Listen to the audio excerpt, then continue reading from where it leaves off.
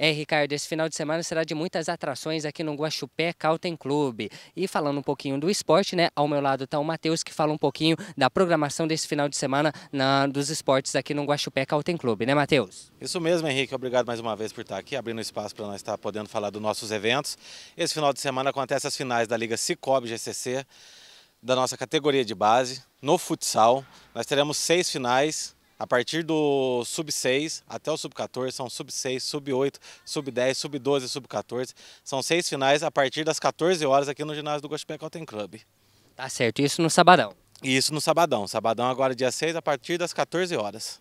Tá certo. E atenção, viu, Ricardo? Porque não para por aí, não. Tem mais atrações também, mais shows aqui no Guaxupé Calten Clube neste final de semana. E quem fala isso pra gente agora é o Paulo Ferreiro, coordenador de eventos aqui do Guaxupé Calten Clube. Paulo, seja bem-vindo aí aqui à TV Sul. Fala um pouquinho pra gente sobre as atrações aí no final de semana. Eu queria agradecer a todos os telespectadores da TV Sul.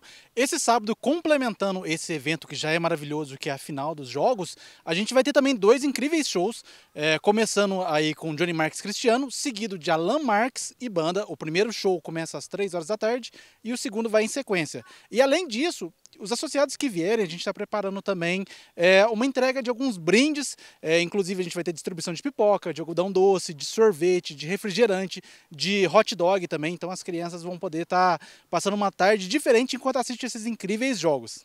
Tá certo, faça o último convite aí para os associados comparecer no clube esse final de semana, Paulo. Sim, a gente é, deu início na semana passada o mês de aniversário do Gospel Train Club com a festa junina, inclusive a TV Sul fez uma matéria incrível aí.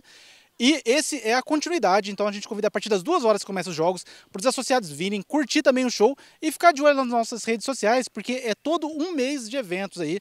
E pode dar um spoiler do que vai acontecer no aniversário aqui do Guaxupé Calten Club? Sim, a gente já está divulgando, é, o pessoal pediu muito, a gente está trazendo Dona Zé, que foi um sucesso no nosso pré-carnaval aí, eles estão voltando, prometeram fazer um espetáculo incrível, e pela primeira vez no Guaxupé Calten Club, a banda Identidade Nacional, que também é uma banda baile sensacional, quem vir vai se surpreender.